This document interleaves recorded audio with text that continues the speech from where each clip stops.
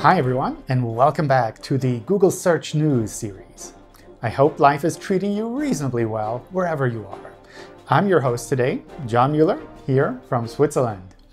With this show, we want to give you a regular summary of what's been happening around Google Search, specifically for website owners, publishers, and SEOs. If you find these useful, which I hope you do, and if you'd like to stay up to date, then make sure to subscribe to the channel. I hope your year both ended well and is starting off well. What a unique year it was, right? If you're watching this in the far future, then first off, Congratulations for making it that far. And secondly, as you can see, in early 2021, we're still recording from home in Switzerland. In this episode, we'll be covering some neat new things around the foundation of search, namely crawling and indexing, as well as another relevant part of search, namely links. If you're curious to find out more, then stay tuned. As a bit of background, crawling is when Googlebot looks at pages on the web, following the links that it sees there to find other web pages. Indexing, the other part, is when Google systems try to process and understand the content on those pages. Both of these processes have to work together, and the barrier between them can sometimes be a bit fuzzy. Let's start with news about crawling. While we've been crawling the web for decades, there's always something that we're working on to make it easier, faster, or better understandable for site owners. In Search Console, we recently launched an updated crawl stats report. Google Search Console is a free tool that you can use to access information on how Google Search sees and interacts with your website. This report gives site owners information on how Googlebot crawls a site. The report covers the number of requests by response code and the crawl purposes, host-level information on accessibility, examples, and more. Some of this is also in a server's access logs, but getting and understanding them is often hard. We hope this report makes it easier for sites of all sizes to get actionable insights into the habits of Googlebot. Together with this tool, we also launched a new guide specifically for large websites and crawling. As a site grows, crawling can become harder, so we compiled the best practices to keep in mind. You don't have to run a large website to find this guide useful, though. We'll add a link in the description if you're keen. And finally, still on the topic of crawling, we've started crawling with HTTP 2. HTTP2 is an updated version of the protocol used to access web pages.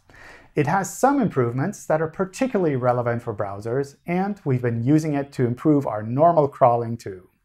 We've sent out messages to websites that were crawling with HTTP2, and plan to add more over time if things go well. As you can see, there's still room for news in something as foundational as crawling. And now let's move on to indexing. As mentioned before, indexing is a process of understanding and storing the content of web pages so that we can show them in the search results appropriately. For indexing, I have two items of news to share with you today. First, requesting indexing in the URL inspection tool is back in Search Console you can once again manually submit individual pages to request indexing if you run into a situation where that's useful. For the most part, sites should not need to use these systems and instead focus on providing good internal linking and good sitemap files. If a site does those well, then Google systems will be able to crawl and index content from the website quickly and automatically. Secondly, in Search Console, we've updated the index coverage report significantly. With this change, we've worked to help site owners to be better informed on issues that affect the indexing of their site's content. For example, we've removed the somewhat generic crawl anomaly issue type and replaced it with more specific error types. There's a bit more about this update in our blog post, which I've linked in the description below. Finally, I mentioned links in the beginning. Google uses links to find new pages and to better understand their context in the web. Next to links, we use a lot of different factors in search, but links are an integral part of the web, so it's reasonable that sites think about them. Google's guidelines mention various things to avoid with regards to links, such as buying them. And we often get questions about what sites can do to attract links. Recently, I ran across a fascinating article from Gisele Navarro on content and link building campaigns that she saw last year. While I obviously can't endorse any particular company that worked on these campaigns, I thought they were great examples of what sites can do. It's worth taking a look at these and thinking about some creative things that you might be able to do in your site's niche. I added a link in the description below. Creating awesome content isn't always easy, but it can help you to reach a broader audience. And who knows, maybe get a link or two. And just a short note on news about structured data. As we mentioned in one of the previous episodes, we've decided to deprecate the old structured data testing tool and to focus on the rich results test in Search Console. The good news is that the structured data testing tool isn't going away, but rather finding a new home in the schema.org community. And that's all for now, folks. In closing, I'd love to hear more news from you all, especially around this video series. Which parts did you find particularly useful? Which parts less so? What should we focus on more for this year?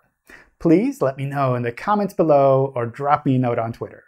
I really appreciate all feedback, yours too. Finally, if you'd like to see more of these episodes or catch up on the new series for sustainable monetized websites, make sure to subscribe to the channel. I look forward to seeing you all again in one of the future episodes of Google Search News. Bye!